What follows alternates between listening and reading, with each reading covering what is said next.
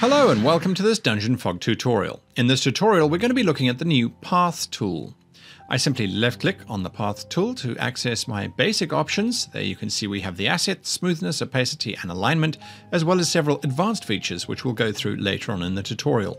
For now, to select an asset, I simply click on the asset and that brings up all of the options currently available in Dungeon Fog with many more on the way. Let's select, for example, the wooden walkway. Now that I have the wooden walkway selected, I can go back to my canvas and create my path.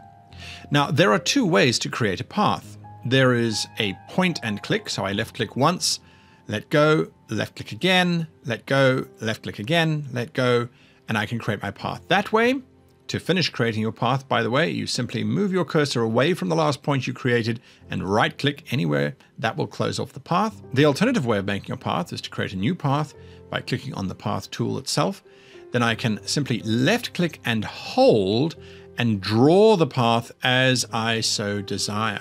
Now you'll notice straight away that it creates a lot of vertex points. Now we will be able to edit these vertex points, of course, and move them around, manipulate them as we so choose. It does create quite a smooth flowing track, however.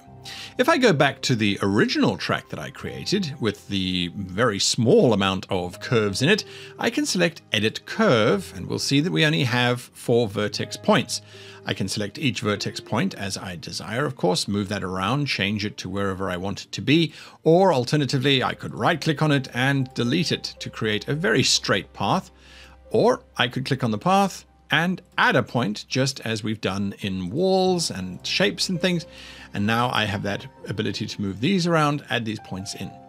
If I want the path to be smooth, however, all I do is come over to the smoothness slider, which is currently set at 0%, and as I increase it, you'll notice that the curve starts to form, and at 100% it creates a smooth curved track using only 4 points as opposed to the hand-drawn method, which creates points as it goes along. I find less points is a lot easier to work with than lots of multiple points. We have the snap to grid option if we're creating a new path where it will snap to the grid. If we need to be very precise, we can do that as well. Again, right click elsewhere to end the path. This is at 0% smoothness. There is much more to the path tool, however, and those we will find in the advanced settings. In the advanced settings, we have the option to change the scale of the texture. I'm going to zoom in here by holding control and scrolling in on my mouse. If I change the texture scale, we'll see that the scale of the texture changes exactly what it says it does. We can increase or decrease the size. Notice that what it does not do is increase the scale of the path itself. That remains fixed, so that's a really useful tool. Now we also have the flip texture option, which allows the texture to quite literally flip. It may not be immediately noticeable, but it's definitely making a difference. Just being able to flip the texture, however, might not be enough. You might want to reshuffle the order in which the path has been drawn. Now, the path is comprised of a series of images, and those images are repeated over time, but we can change the order in which they have been presented. We simply tap the Reshuffle button. Notice how it's changing the textures that have been applied to our path so we can really play around and tweak each and every section until we get the section that we find visually appealing. We might not like how our path ends. If you look at this path here, the ending is not well finished. So I'm going to finish with this other path, go back to the original path by simply left clicking on it, and I can then go to endings. If I click on the ending, I'm presented with the start and the end option. We're at the end of our path, so I'm going to select the end option first, and I have several options. I have none, in which case it does not apply a specific ending. I have the shrink option, which allows me to shrink the path down, and I have a slider here to control how much it shrinks. Very useful if you're designing a river or some kind of organic growth. I have the fade option, which again, I can control the distance of the fade. This is useful if you're designing staircases heading downwards or upwards, or if you want something to emerge from an area. Really useful. And then finally, we have an actual end.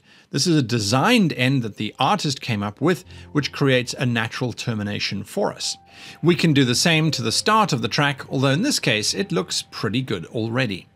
Various paths have got different end caps, so if I change this to say bridge, for example, it's quite a dramatic change. I'm just going to create a very simple bridge here for you to see. Again, right click somewhere to close off the tool. And if I now select the ending You'll notice that I still have my none, shrink, or fade options, but now when I select end cap, you'll see that it creates these wonderful posts. This is a rope suspension bridge of some kind. And if I select the start, there's one that's been made for the beginning. So we can see now this is exactly how our bridge will look. And again, we can go in and change these points. So if we want it to be a little bit further away, a little bit longer of a bridge, have a bit more of a curve there, and let's make it a bit of a crazy suspension bridge and give it a bit of a curve there, we can see that our path is now following all of the rules that we could possibly want it to follow.